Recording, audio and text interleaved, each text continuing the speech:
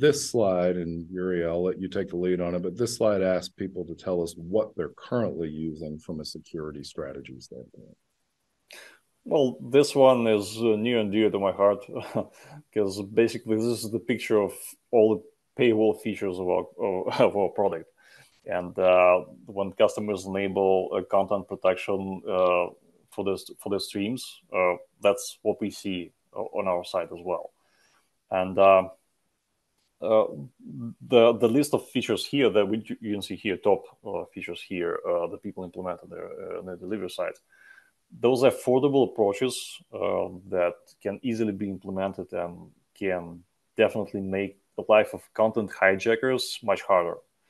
So when it comes to protection, it's always uh, what they call the race of the sword on the uh, on the armor, uh, and any content provider may choose how much they can afford spending on that protection. Uh, so the more you spend, the more like revenue you need to get from your customers, uh, and obviously. And so you know, these options uh, uh, are the most popular because they're easy to implement and they really give back uh, to you from the security standpoint. Whether it's a geo or IP fencing, whether it's token authentication, AS, AES encryption, transport layer, uh, transport layer encryption, even like uh, people use SSL for their HTTP streams. Uh, consider that they consider that as part of protection as well for some reason anyway.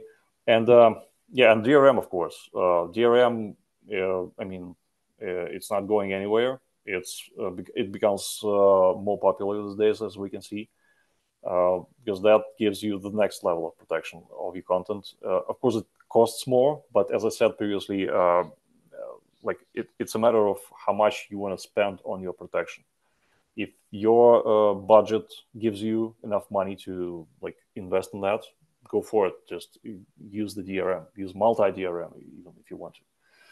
So uh, it's a it's a pretty uh, this picture speaks for itself. Uh,